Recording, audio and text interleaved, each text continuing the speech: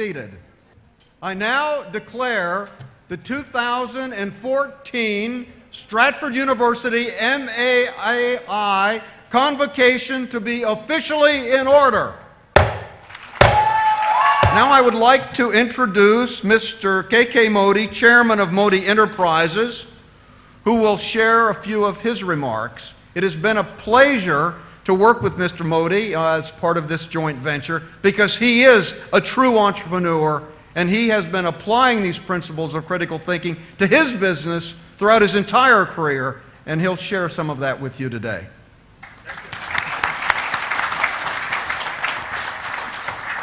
Good morning. I don't have a prepared speech because I knew that today I am going to speak with many of the young people who are graduating and entering life. And just few minutes before, I was thinking about myself.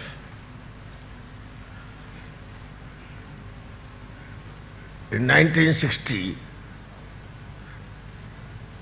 I finished college in Modinagar and joined the business.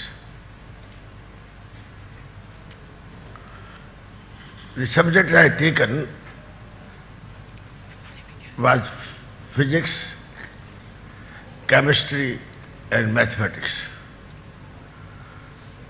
And when I joined the business, my father said that you don't know commerce, you don't know accounting,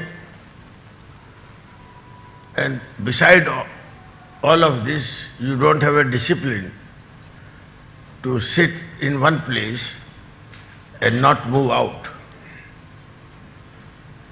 So he devised a management system or accounting system for me to learn. He called the accountant of Modi Vanaspati Mills and gave me the book of last years in the accounts department to copy.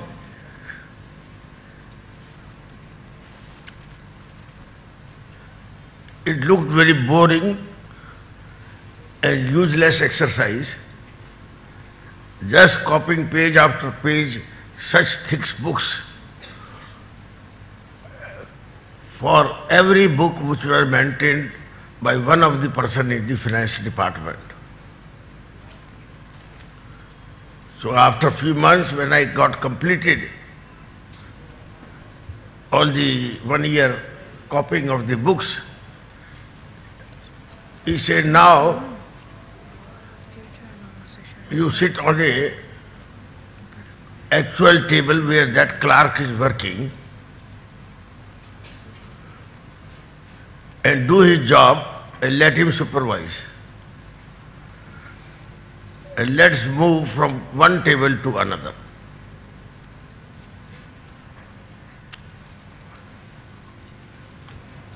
So when I joined the business and given charge to run Modi Rayon and Silk Mill, then I realized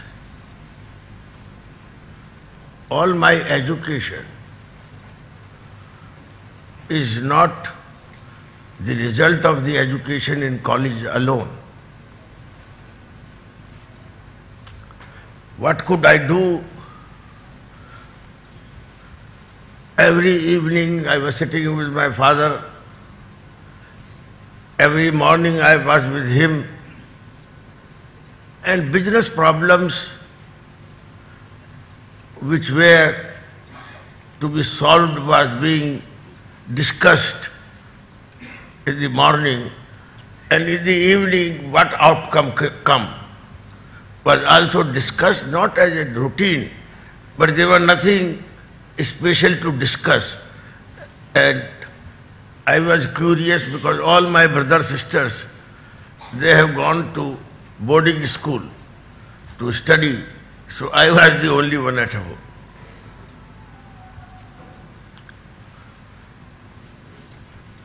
I become, I think, very successful. I should go and take a break from business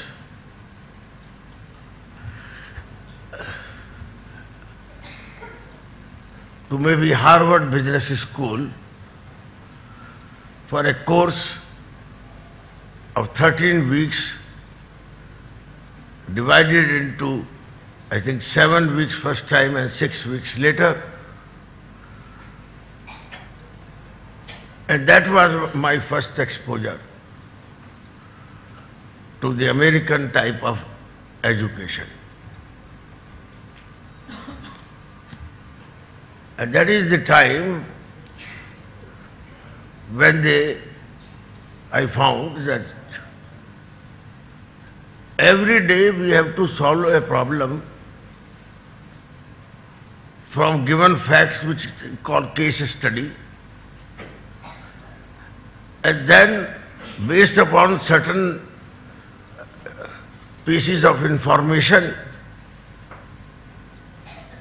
you have to think through and develop a solution. And there is a class of 80 students, all of them coming uh, from business background and trying to solve the same problem. Now my problem was that I resolved on the first day because when the dean gave us introduction, he said, we are not going to embarrass you. If the professor is teaching, he will ask you a question, only you volunteer to answer. So you have to raise your hand, and many people raise hand, and the teacher or, or the will choose one of them. And you will see realize that these 80 people are from different backgrounds. And they have the same problems to solve. And they are coming from di different thought process. But many times they are coming to same conclusion, same solution, which was a solution for which the case was written, was actually happening in one of the companies.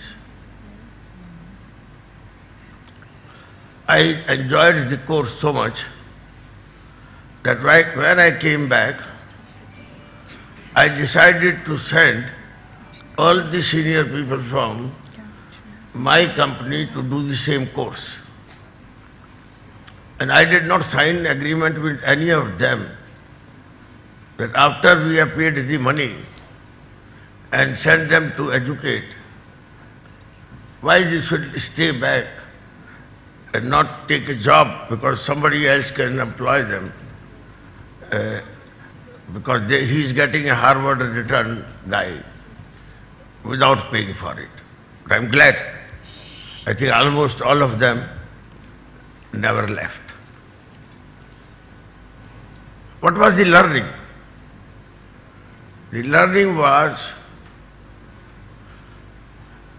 that you learn from several things. Not only in the school where you study, you learn from co-fellows who are other students. You learn from uh, listening to different stories which they offer different solutions. And you learn also from the environment where you live. Now in Modinagar when I studied, anybody who lived in Modinagar, if he wanted admission, he got the admission. So it was not that the admission will be given to few, which will be the brightest. What was the system that all the people in the town, if they uh, reach that year of education, they will definitely get a, a- a- a- a- admission. And I found in India, even though we had the best universities, which the government invited and created very, very well-known institutes, but the institutes can hardly admit two or three percent of the students which apply. And The rest of them can't get in them because the system is not whosoever come or first come get admitted, but who will pass their test. I don't think they make better students. The one which got admitted as a routine institution. And then I found out that in US also, if a university is located in a particular area, and if the student is coming from that area, he will definitely be entitled to be admitted. So the question was, should we do thing in field of education a collaboration with the US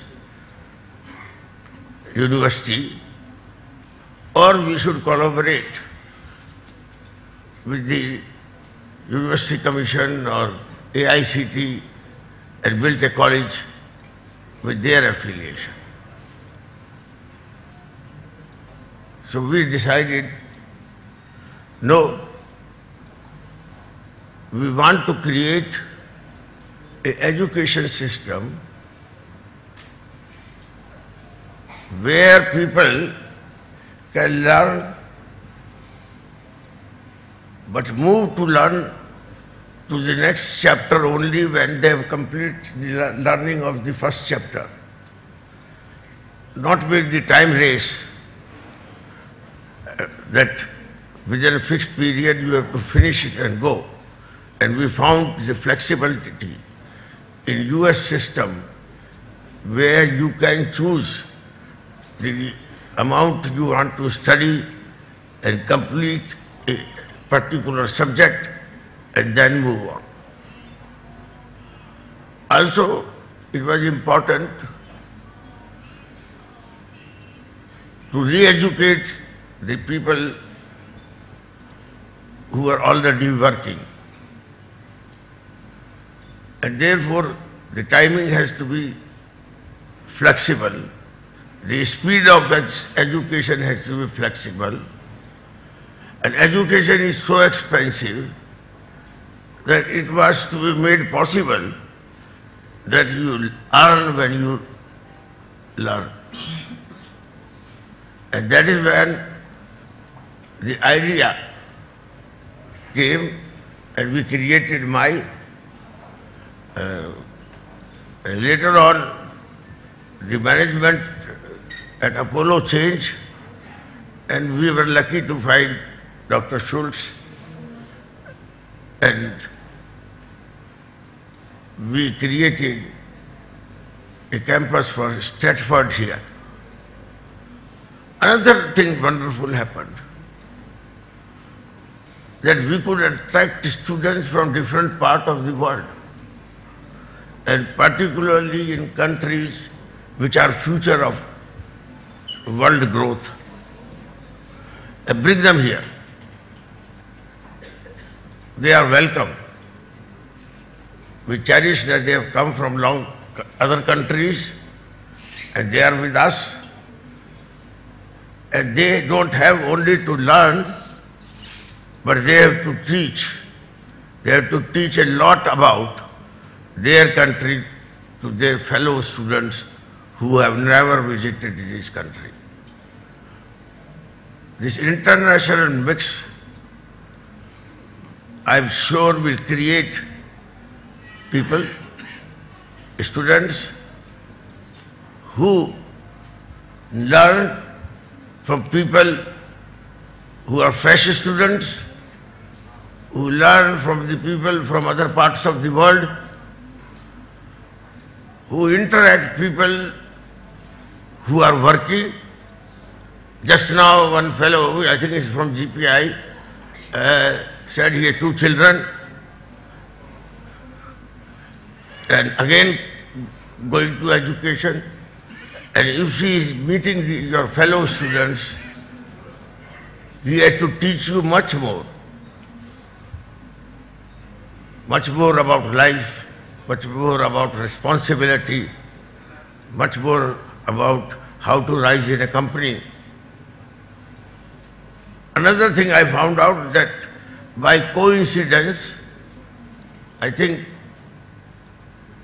the, I think you had 12 students which took the first course and more than 70% of them got promoted and our personnel department did not promote them on the basis that they have got through the course. So when Mr. Mehrotra came to know by Charu that our records show, uh, one first feeling was it can't be.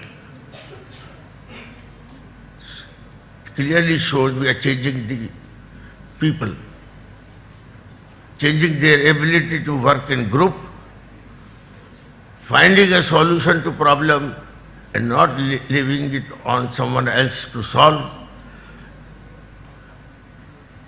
And using the technology as well as skill to solve the problem. I think this is the best education system which a person can join. We are doing our best. We are here to change the life of people. This enterprise is not to add a turnover to Modi Group or bottom line. I must say other, definitely we make a surplus every year and the institution is moving in right direction. Thank you very much.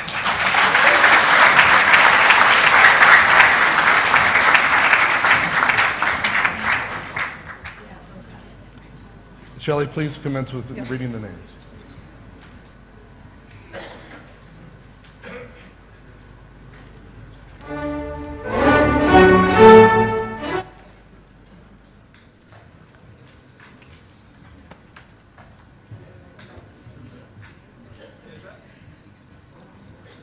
Naresh Kukreja, MBA, summa cum laude.